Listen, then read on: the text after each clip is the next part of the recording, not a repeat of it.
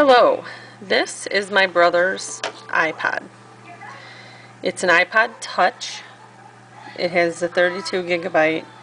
It's a 3G and the model number is an A1318. How I know that is by looking on the back of the iPod.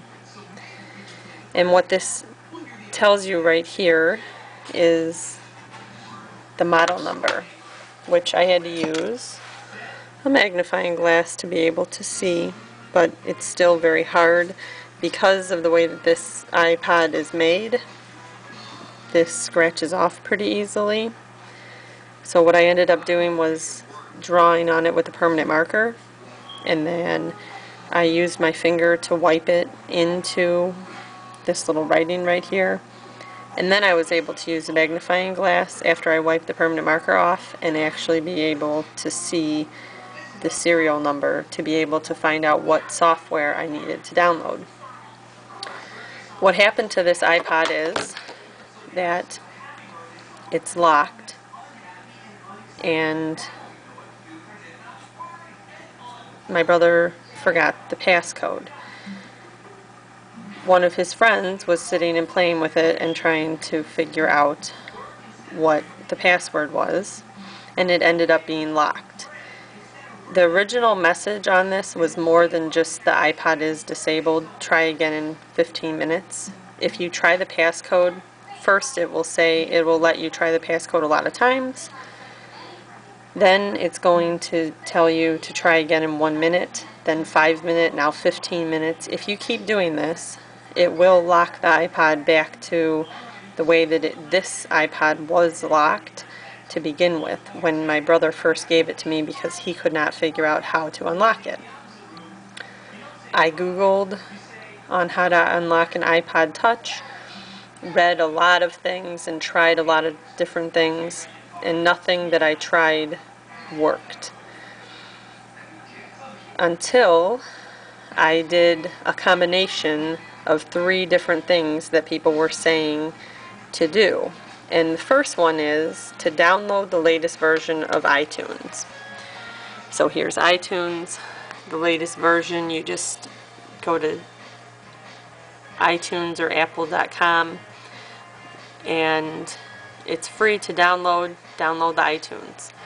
It takes a while because it wasn't downloaded on this computer of mine. So I waited for it to completely install.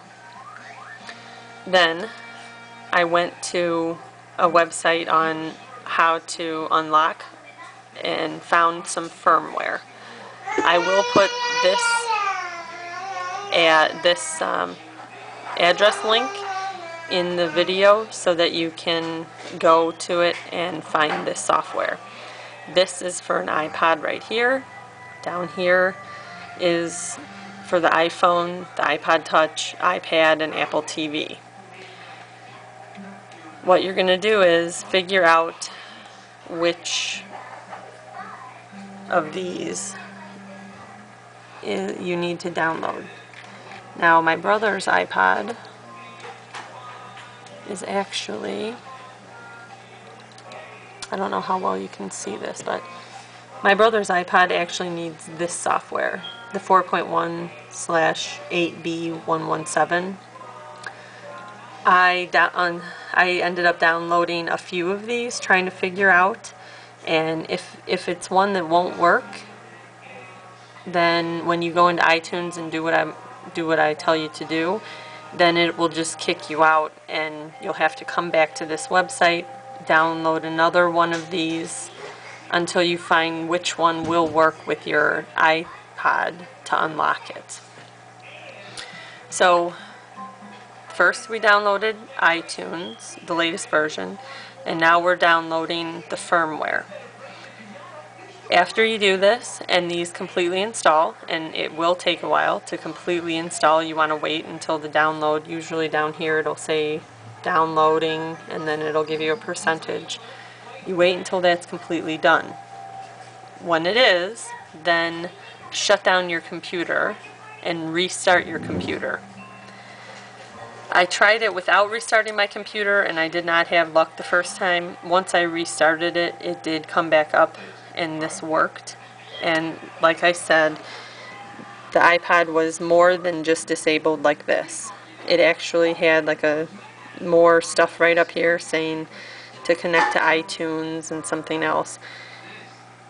I just relocked this so that I can do this and show you what happened. So, iTunes, firmware, and then I also went to YouTube and I looked at all these different videos and I had to do a couple of the things that these people suggest. And the first one is to hold down. First you want to um,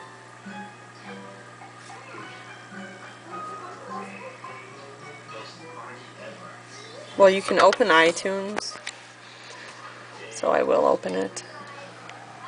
It's just on my desktop. Hopefully my battery doesn't go dead in the next 10 minutes. And nothing's plugged in, so you just, I'm going to put this down like this. Oops. Hold down the home button, plug in the iPod. It will say sync in progress. Slide to open and it's going to ask you to enter the password again. Okay, Jacob. Try again.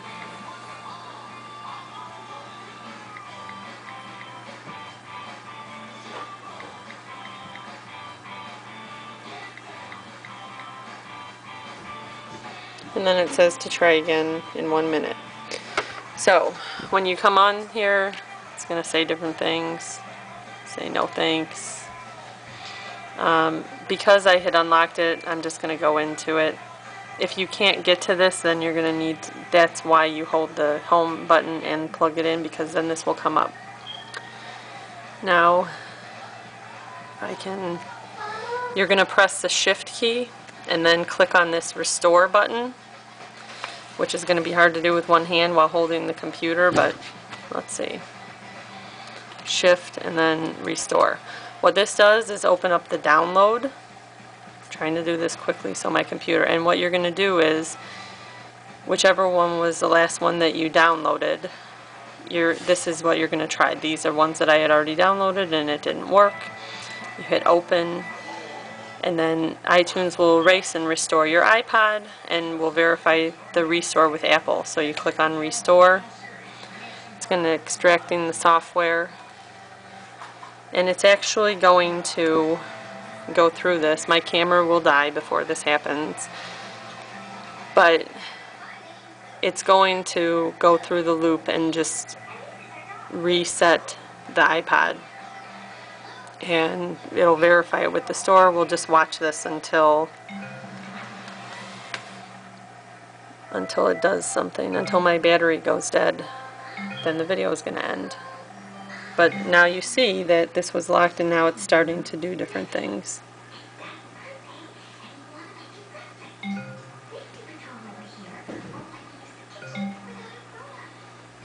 This is going to erase everything that you have on the iPod. But if you have iTunes, then you would have all of your music in there anyway.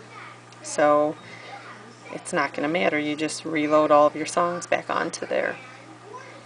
The, it, it does it to the factory settings, so maybe any of the applications that you downloaded will be lost, but this is better than having no iPod at all, so this makes it a lot easier.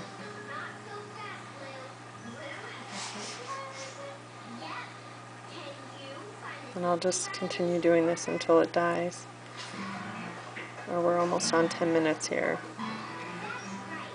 So it might, it originally it's going to ask you to fill in the name as well. And you're going to have to rename it and then it's just going to restore. See how it just says at the top iTunes what it's doing, restoring iPod software. And then you're going to, it'll ask you to rename it, and then it's going to let you put everything on there that you want. And if you have any problems, just ask me questions, and I'll answer as best I can to help you. Because I know this was a really frustrating thing for my brother to not have his iPod because it holds 7,000 songs and he loves this. Thank you for watching. If you have any questions, just ask.